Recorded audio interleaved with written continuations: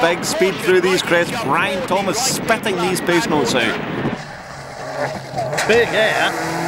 Higgins not hanging around, is he?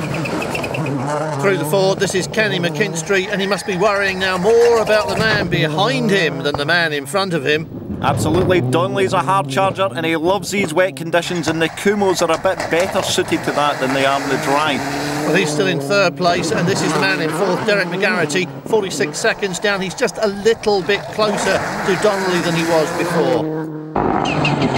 I've made my way down to the last stage of the day. It's called Round Table. We're at time control where they hand over their cards before they go on to the final service of the day. Mark Higgins is first on the road, and I'm hoping to grab a word as soon as he gets in. Well, it'll be a long wait to 14 mile stage, and as you can see, he's got a fantastic lead, hasn't he, this man? Yeah, two and a half minutes, a very healthy lead, but heavy rain here, Richard. Look, the wipers are on, there's standing water around. Well, Mark Higgins showing no sign of backing off, which he could easily afford to do. He just seemed to be like a man on a mission, and that mission appears to be win every stage and the rally.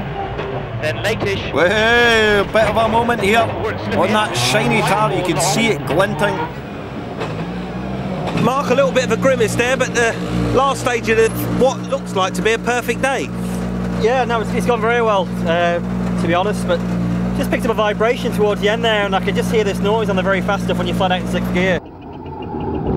Kenny McKinstry on his way through the stage. Still very slippery everywhere, isn't it? Just on Higgins' corner.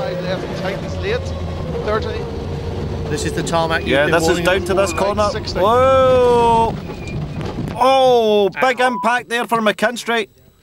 That looked really slow, but it's heavily in, isn't it? Exact same place as Mark Higgins. This looks terminal. Well, here comes Donnelly. He's going to pass, or hopefully he's going to pass Kenny McKinstry in a moment. Oh, nice slide, Eugene. Tight five right opens, slipping. Okay. There's no way. Just manages to hang on to it, just like Higgins. But where's McKinstry? That's where he was.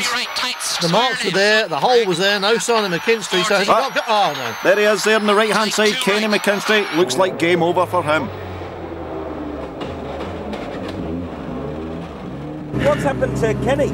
He's off there about uh, about three mile back the way on a very slippy, you know, tight into uh, a square lap. And it's like ice, absolutely ice. And he just seemed to slide off and hit a gate.